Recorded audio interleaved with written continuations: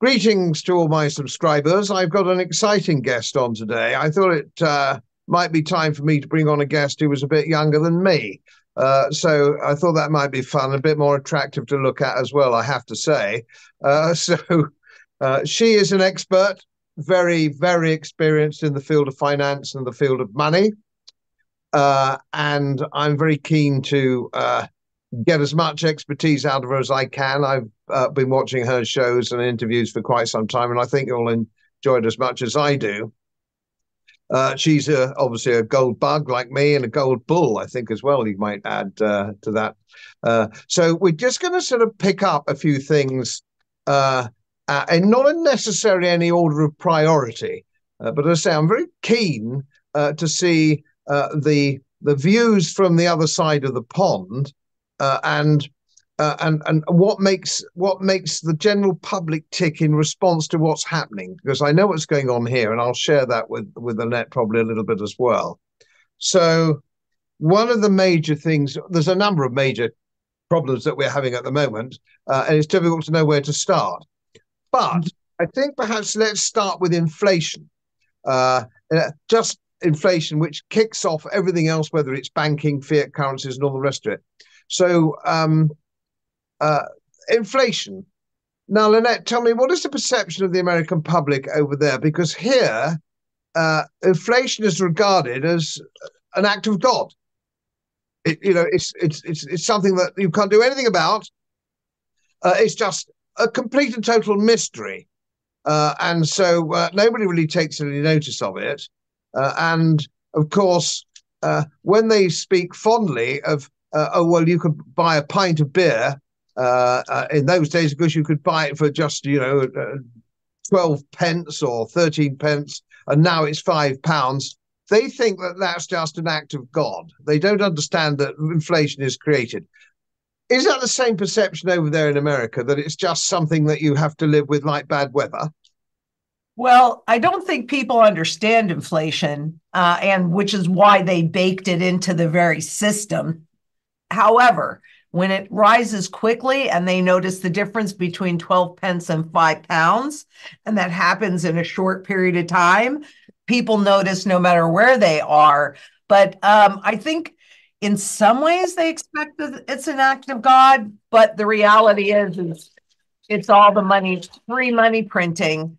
That's what devalues the currency, and especially in a debt based system. So I think people right now, most of the people are very unhappy with the level of inflation, and our government can't understand why the general population is still so upset because, after all, inflation is coming down.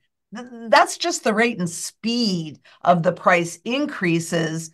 But if you go to the grocery store every week, a couple times a week, it's very noticeable. So I, I don't think that they think that it's an actual act of God, but I don't think they really understand where it comes from.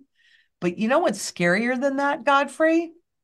Is the fact that we had our our central banker here, Jay Powell, and we had Christine Lagarde over across the pond admitting that they don't understand inflation either. And they're the ones that are driving the bus.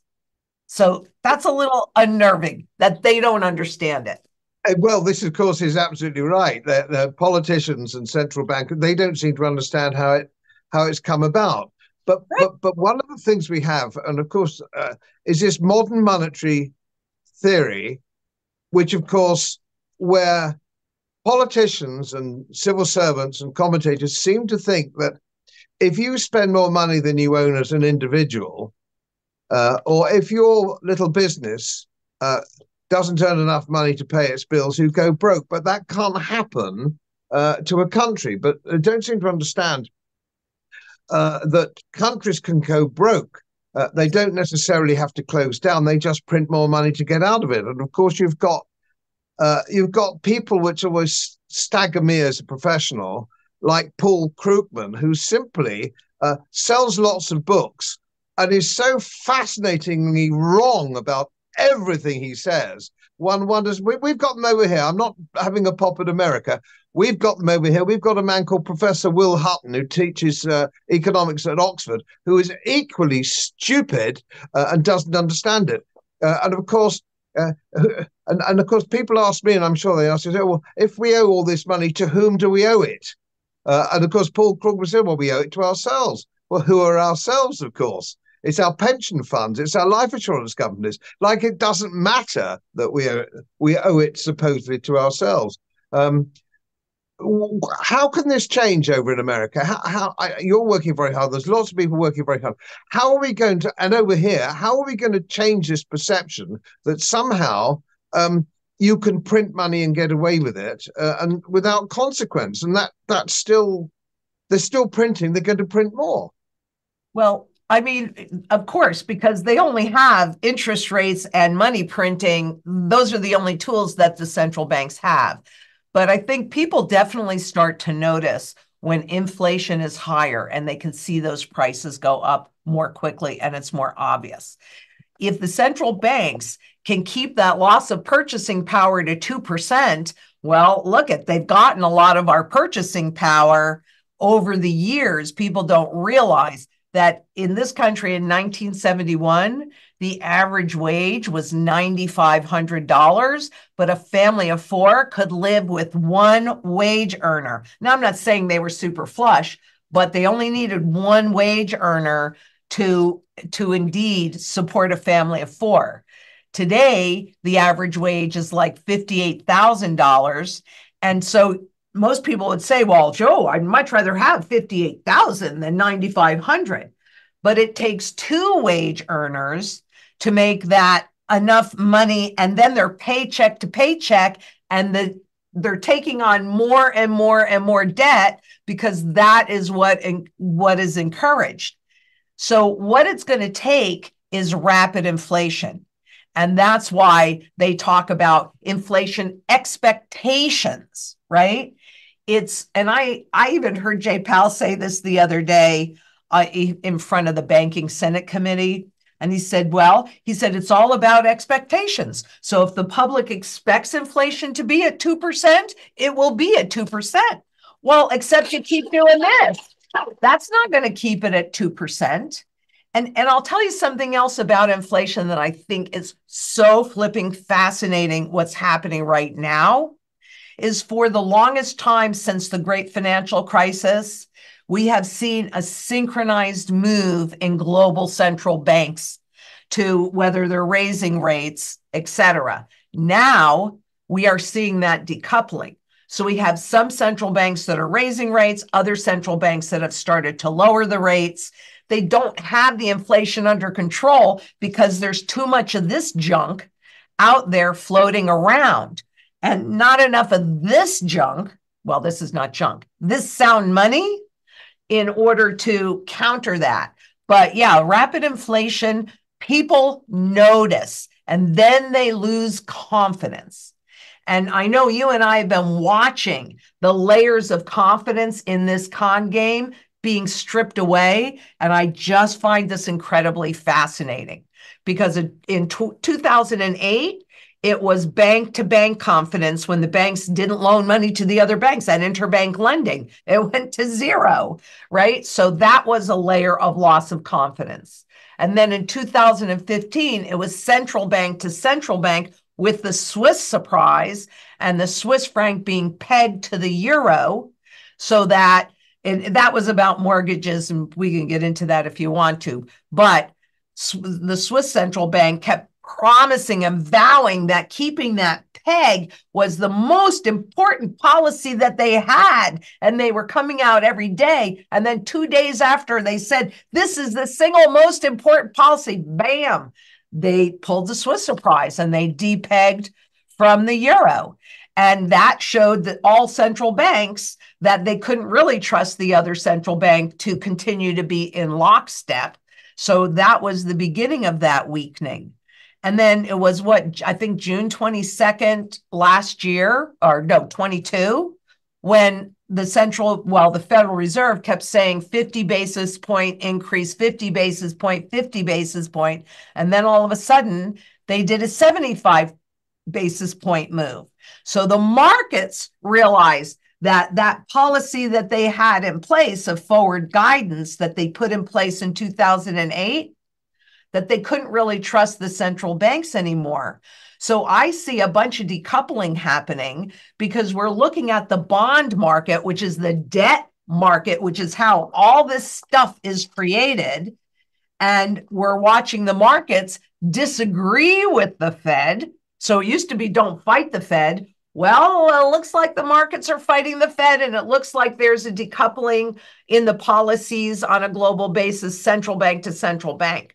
I think we are at such a fragile, fragile period of time right now that one misstep with all of the garbage that's in the system, all the leverage and all the debt and, and all of the derivatives, the big bets, you know, I, I think that easily the central banks could be overwhelmed in their ability to print their way out of this mess. And, and that could happen anytime. I don't know when, but that can happen anytime when I did my professional exams, which was a long time ago, that was back in the 1960s, um, there was a few concepts uh, around which were taken as the economic fundamental as well. And There aren't many economic fundamentals. There aren't many economic laws, uh, but there are a few.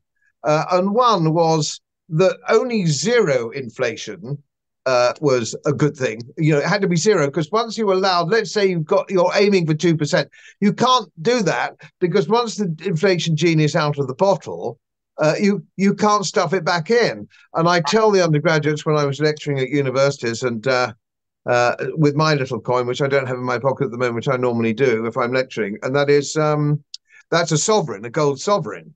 Uh, mm-hmm. and of course, what is interesting, the one I actually happen to have in my pocket normally when I'm talking, it happens to be a, a 1905 sovereign with a with with uh, with the King Edward VII face on it. Uh, that's neither here nor there. But the point I make to them is that sovereign would buy you bed and breakfast in a reasonably good hotel in London, Berlin, Paris, or New York in 1905, and it will today and it will today because the the the uh, cash value of that in in pounds sterling uh, is about four hundred pounds.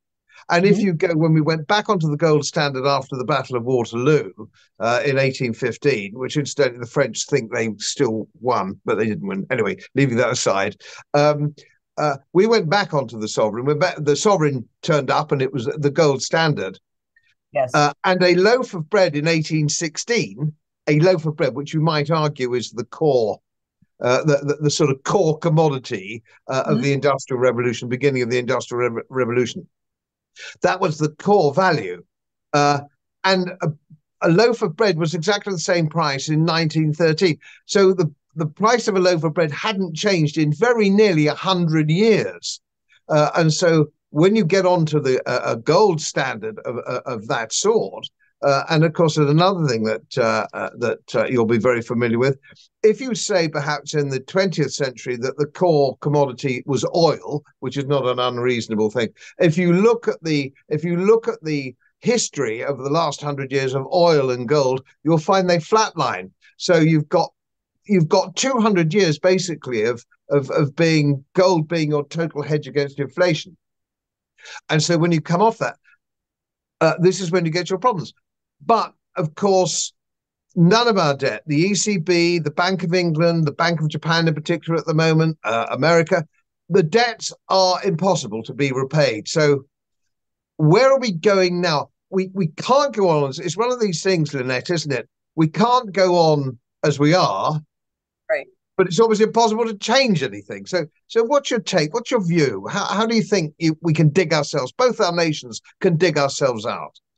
Well, there were a few things in there, Godfrey. So I'm going to kind of unpack this a little bit um, because, frankly, um, can can I have my one dollar gold coin back? Okay, I want to show you something since you brought this up, and I think it's really interesting. Thank you.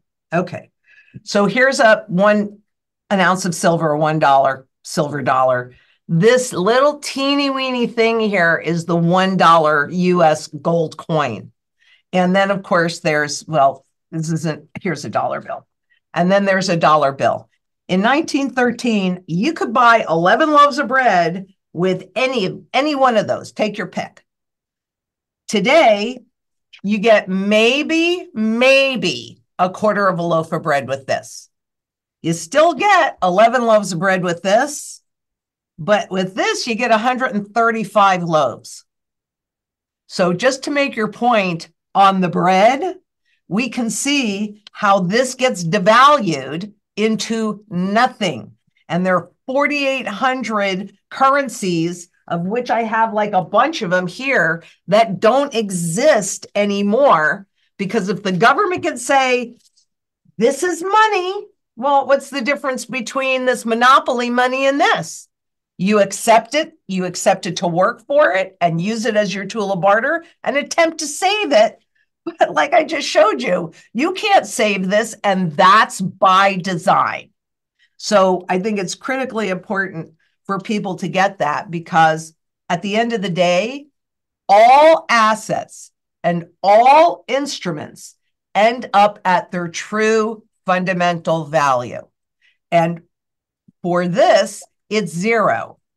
For these two, silver and gold, physical silver and gold, in terms of currency, it can be like I just did a debt to amount of gold uh, calculation the other day.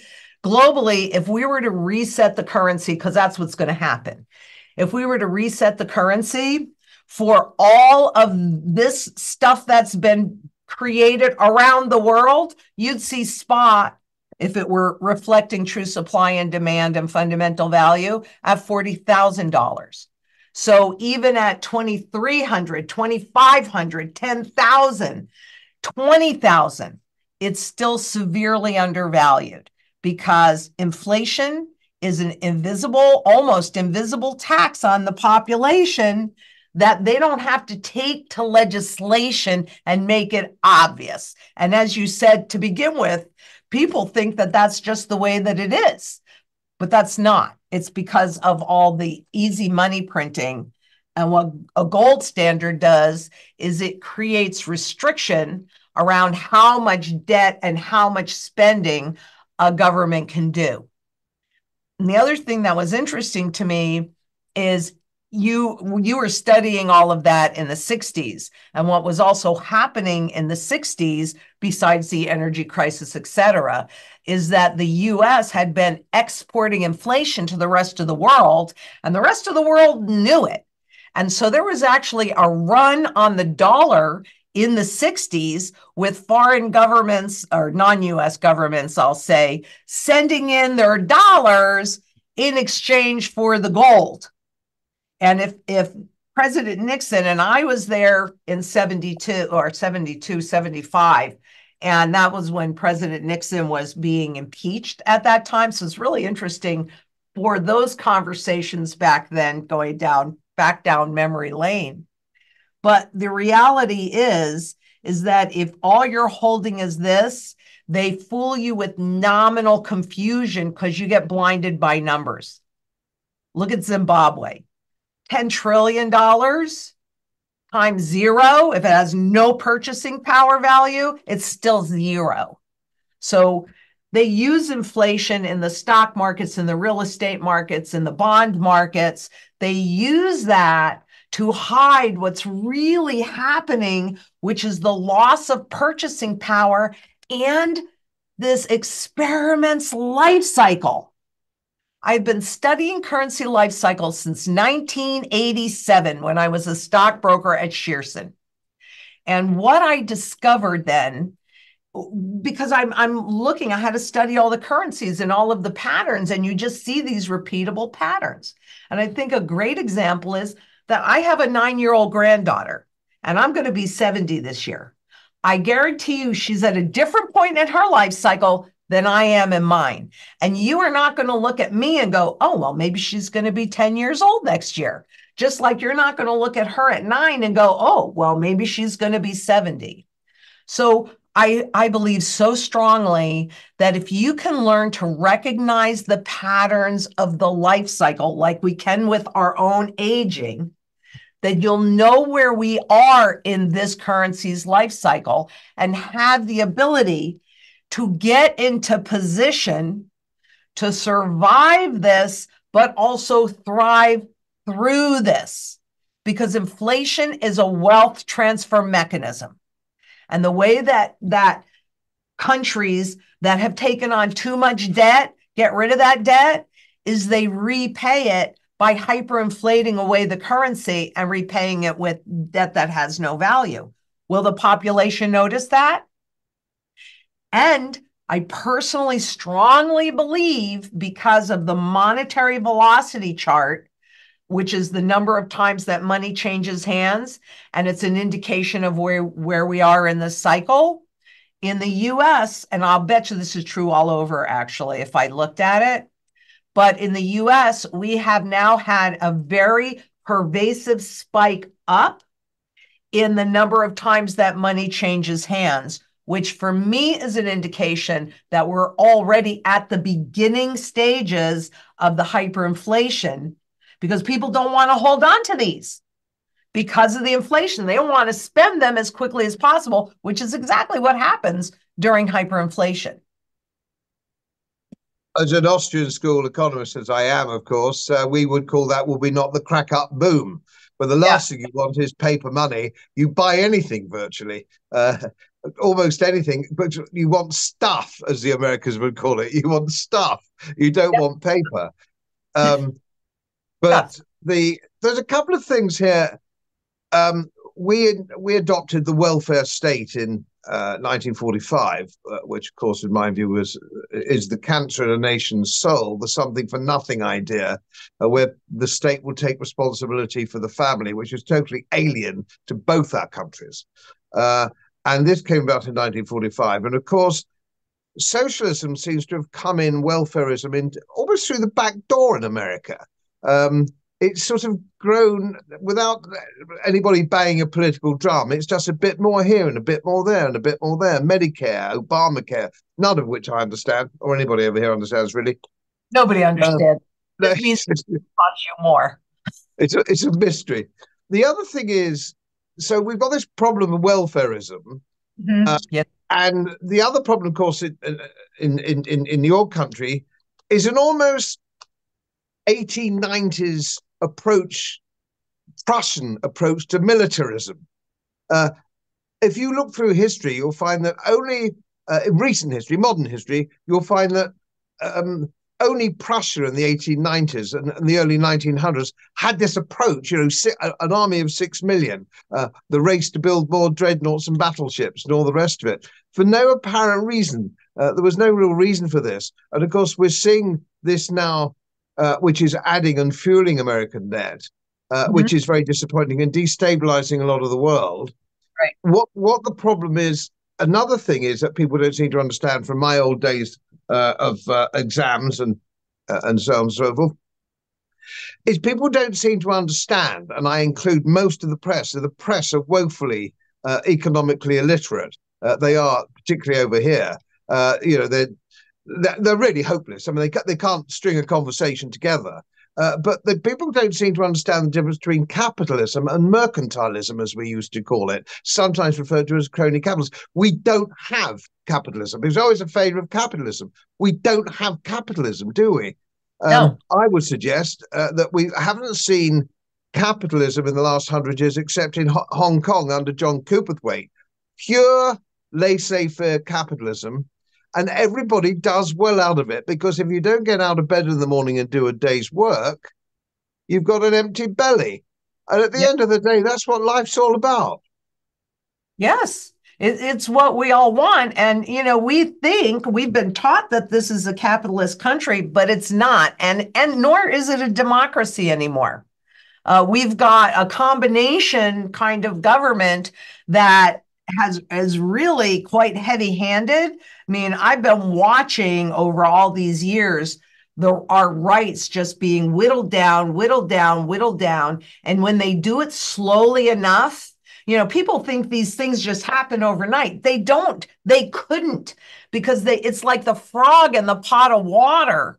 So they make these changes to your point through the back door around the other side and really since the 70s since we really, the US handed over control of inflation to the global to the central bank. And what do banks know?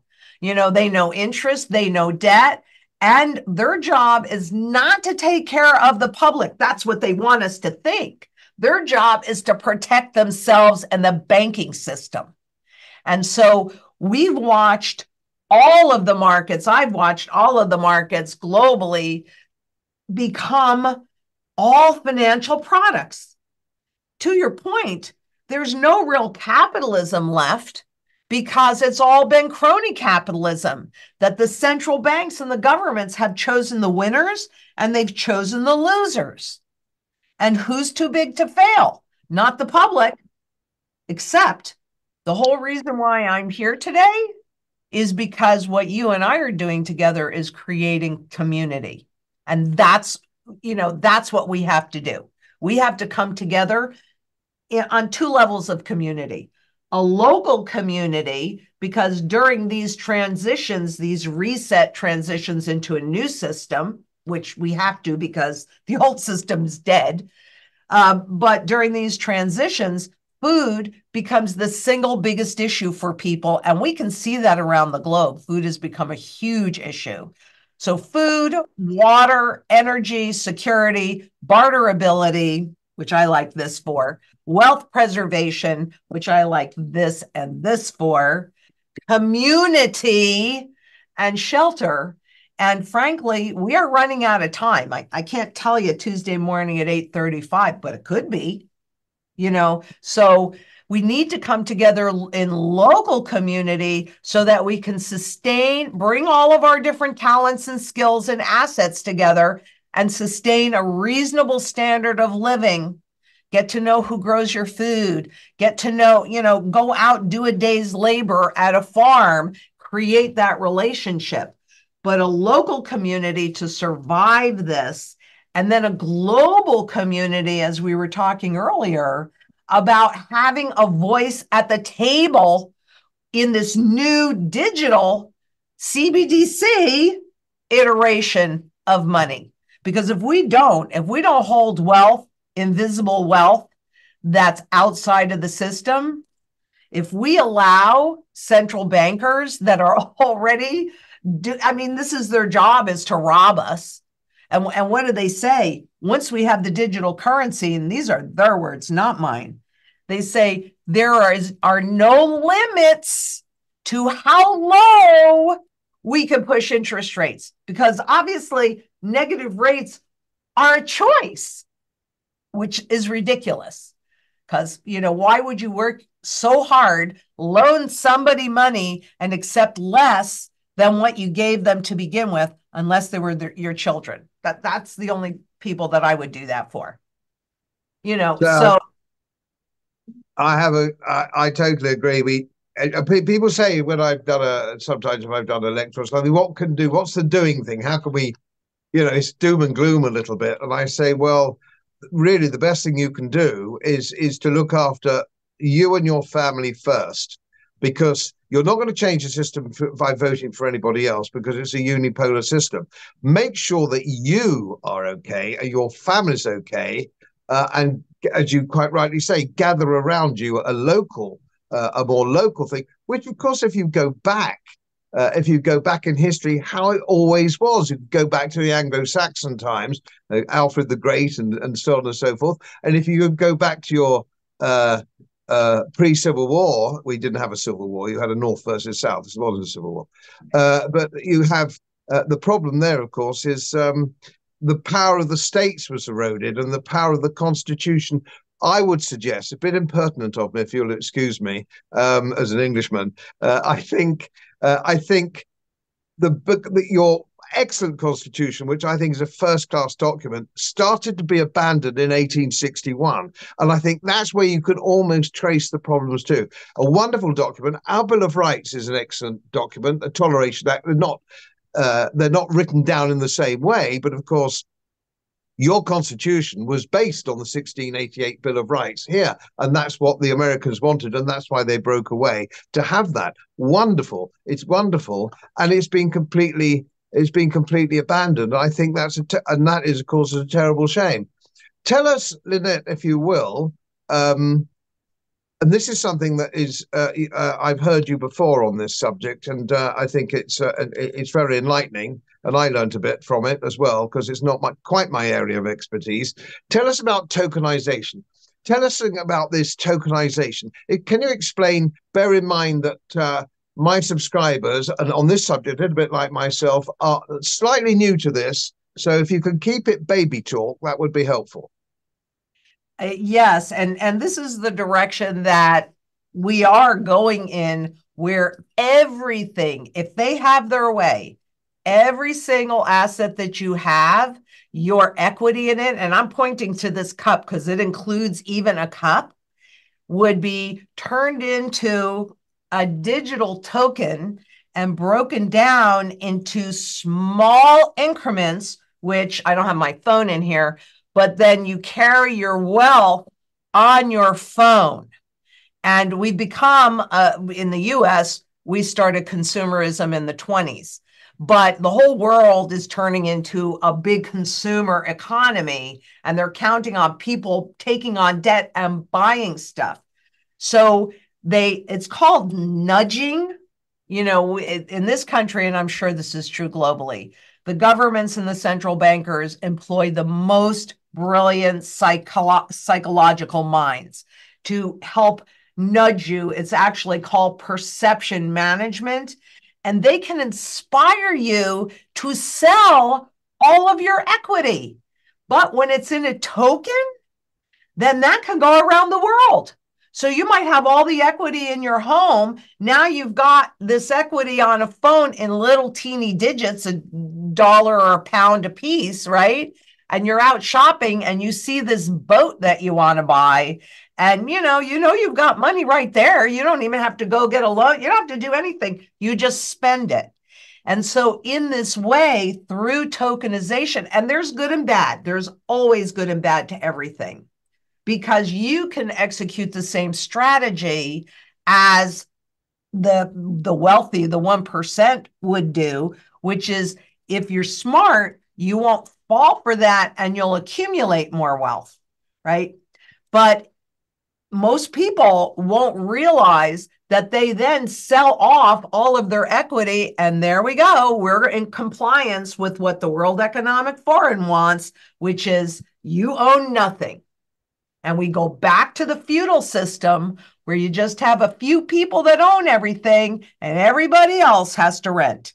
And guess who gets to choose those prices and and what that looks like? It's the person that owns all the assets. So be the actually this is what I use for wealth transfer. Be the person that owns the assets. That's really a big part of how you take care of your family. Cuz cuz you're right, a lot of it sounds like doom and gloom, but it's not really doom and gloom. It's opportunity if you were in the right place at the right time with the right asset and you understand what's happening simply by watching the patterns shift. There are just some key patterns. We've essentially lost all the purchasing power in this. I mean, what, what's a dollar? What's a pound? How much does a pound buy you? Like, like nothing, right? And here in the US, I mean, you know, what is this? It, it's really just garbage. It's all it is. I can't do that with this because this is all utility. It's used in every single segment of the global economy. So is this, right? So this is universal money. This is local money. And, you know, it's going, it's it's very close to zero now. And I do believe there's unfortunately not one doubt in my mind, but that we are headed to a hyperinflationary depression because they have to get rid of this, that which is a debt-based, paper-based system, in order to go into the digital system and then turn all assets and register, like they tried to do in Greece, register all of these assets so they know absolutely everything that you have. Will you agree to that? And how do you disagree? That's that that that, and of course we come back. Uh, well, psyops, you mentioned earlier. Uh, we I think we saw the COVID pandemic how vulnerable people were to this kind of nudging. Uh, especially, it was just the same here. It was just the same. People, first of all, you make people fearful. And one of our great politicians from the left, actually, Anthony Wedgwood Benn, he said, first of all, you keep people badly educated in the dark so they don't know what's going on. Then you make them fearful and then they're much easier to control. And if I, you could actually go back further and find Dr. Joseph Goebbels said much the same thing. I read his biography the other day. It's keeping people ignorant and fearful, which of course is frighteningly easy to do in the modern world. It seems to be frighteningly uh, easy to do. And just before we wind up, Lynette, I'd just like to, your view on one of the one of the great protections for the ordinary man, you call them Joe Sixpack, and we call them the man on the Clapham omnibus. Um, but he's the same man. He's he's a good citizen, working hard, doing his best for his family. The two protections there were the principles of law, English law over here, but very, very similar. Presumption of innocence, trial by jury, the things we have in common, which are quite a lot. Uh, uh, the, the, the, that principle, the principle of English law, and the other most important one, might slightly argue, one of the even more important, uh, is a free press.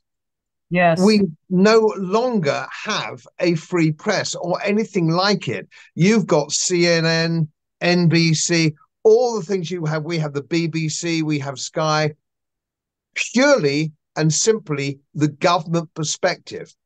And Rep. who is the government? Not the people we elect, it's the World Economic Forum in the shadows, which consists of the World Economic Forum, the IMF, the Bank of International Set- Settlements, the WHO. And who are their agents in this country, of course, as you'll probably know, and you've got your own agents over there, possibly not quite as deep as we have. Uh, we have the Prime Minister here, the Chancellor of the Exchequer, the Leader of the Opposition, the Archbishop of Canterbury, and the King.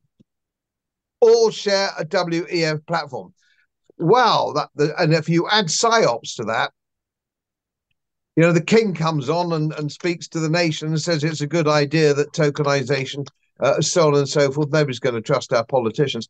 The whole thing is extremely frightening. Mm-hmm. One wonders. I think there will always be survivors, but we're not trained. Your country and my country, uh, are ordinary folk, aren't trained in critical thinking or risk assessment. Right. They don't know how to do critical thinking or risk assessment. Only 20% of the population over here really know how to do that. Everybody else goes with the flow. Same in America, is it, or perhaps not? Oh, I think it's the same in America, but I, I don't think we've got 20% that understand this. I don't think we do. You know, I think that short termism has yeah taken hold. I mean, if it didn't happen 10 seconds ago, it's old news, right? Any, anything within 10 seconds, whereas you learn a lot by looking at history because it has a tendency to repeat, it has a tendency to rhyme. And what we're dealing with is actually just a repetition of history. Um, but but yes, you're going to have the elites that have the wealth transfer their way because you brought up the king of england and i actually bring up the king or queen before um, quite a bit because what they've shown us all how to do is to create what's called dynastic wealth. And that's wealth that has lasted in families at least 300 years and what are the pillars of dynastic wealth? Well, it's kind of like a stool, and there's three legs to it. There is real estate, there are truly rare collectibles, and then there's gold as the foundation. You could do all three with gold, but arguably, this is the most important part because you can accumulate those other two at the right time if you have this because you're holding your purchasing power, as we talked about before. Exactly. And of course, the influence, and certainly over here, and I'm sure it's true in America, um, the idea that real estate, and whether it's commercial or whether it's domestic, can only go one way. The property yeah. ladder. The, but, I, but there's only one advantage. There aren't many advantages being an old geezer like me. I've seen it all before. I've that... seen the markets crash. I've seen the real estate markets crash. The people who run Wall Street and the City of London haven't really started shaving Uh, you know, they're, they're children, really. And they think they talk about the property ladder. There's yes. snakes and ladders. It doesn't go up in a linear fashion, but you can't tell anybody that. But I've got a feeling uh, that they're going to learn that and they're going to learn it very soon because all all real estate is leveraged or leveraged as you would call it over there. Uh, and so it's all it's all dependent or, or hostage to interest rates. Of course i don't know I, I, we'll wind up on this. Otherwise we could quite easily be here till midnight and very enjoyable it would be.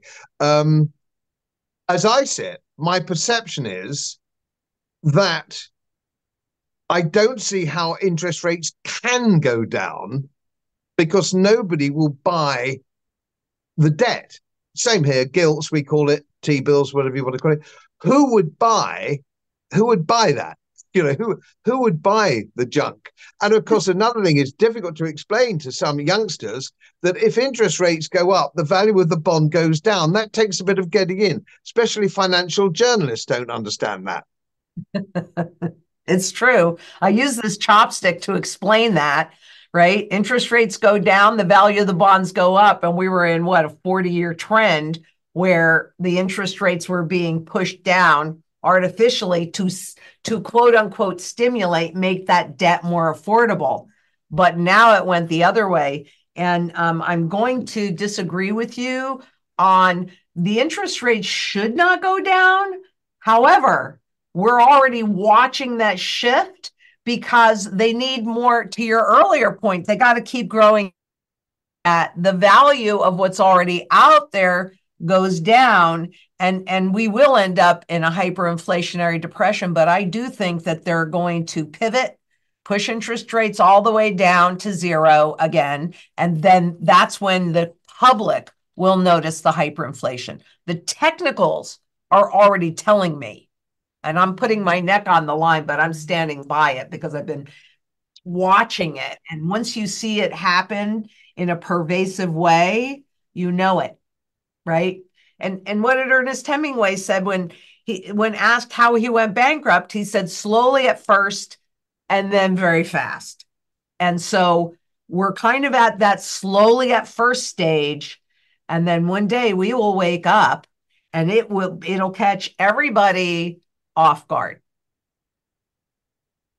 Well, I'm totally with you on that. I uh, I suppose I was thinking short short term. If, if interest rates go to zero, it's Armageddon anyway, isn't it? Really, it's, it, it, it really, doesn't make any difference. Markets are going to love it. I mean, look at Venezuela. They had in what 2013, 14, 15, I think they had the best performing stock market in the world of course, their currency was hyperinflating and it's still in trouble, right?